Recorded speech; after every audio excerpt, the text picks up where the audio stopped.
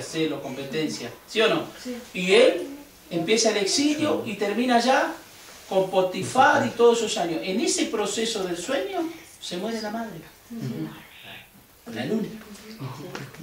El sueño era que, que todos, el sol, la luna y las estrellas, se cumpliera el sueño que Dios había mostrado. El sueño se alteró, respondiendo a la pregunta de la pastora. El sueño se alteró, ¿por qué? Porque habló con gente equivocada y el proceso de José se cumplió, pero fue un proceso alterado. Porque el sueño de Dios era que la madre, el padre y los hermanos se postraban ante él porque Dios lo levantaba como gobernador a él. Pero él habló lo que no tenía que hablar y el sueño se alteró. Entonces el sueño se cumplió, pero incompleto.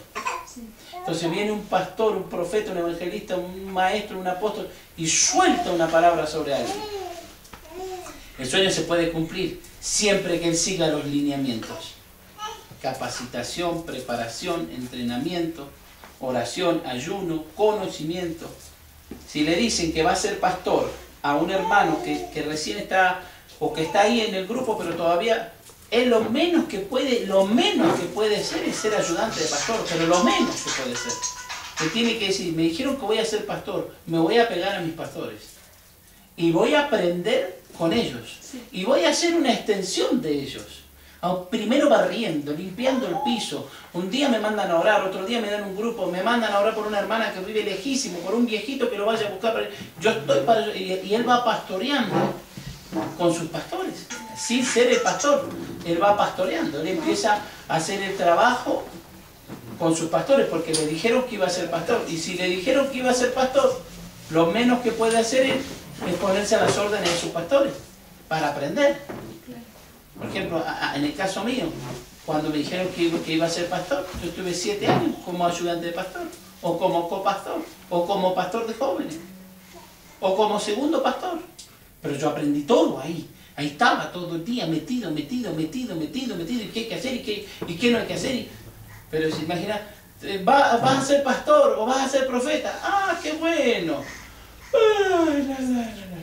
Nunca vas a ser pastor, nunca vas a ser profeta. Y después viene alguien y dice, pero si le profetizaron, entonces era una mentira. No, no era mentira. Es que la palabra profética es condicional. Siempre es condicional. Una parte la hace Dios y la otra parte la hace el receptor. El que recibe la palabra. Amén. Bien. ¿Otra más, pastora? ¿Tienes alguna pregunta, hermano? Venga, venga. Pues, referente a eso que mi mamá comentaba, em, yo he visto, por ejemplo, en la iglesia que algunos les han dicho que son profetas. Y de repente ve uno sus actitudes que, pues a lo mejor no son, que no han cambiado, que, que siguen siendo igual y de repente van y ellos sueltan palabra profética y luego la gente se confunde porque en vez de que parezca que es profética, parece que es de qué hablan, de lo que saben. Entonces, realmente ahí cómo se puede hacer, cómo podemos uno decirle, o sea, no hables eso, o, o sí háblalo, no sé, porque ha pasado eso en la iglesia, que de repente todos profetizan y luego algunas personas han resultado lastimadas por la palabra profética porque dicen, pues sí, eso, ¿cómo fue o cómo pasó? No sé cómo realmente puede uno discernir entre los profetas que sí están siendo levantados como profetas en la iglesia y cuáles no. Bueno, el profeta que es levantado eh, es alguien que siempre está entrenando, siempre está siendo capacitado por otros profetas. Siempre hubo escuelas de profetas. Lo que pasa es que ahora hay muchos profetas que no quieren recibir a nadie que les enseñe. Ellos dicen que son profetas y nadie les enseña, nadie los corrige. Un profeta tiene que estar bajo cobertura, bajo obediencia, tiene que saber, tiene que recibir la instrucción y la enseñanza de otro que le enseñe. Por eso es que el, Eliseo tenía escuela de profetas.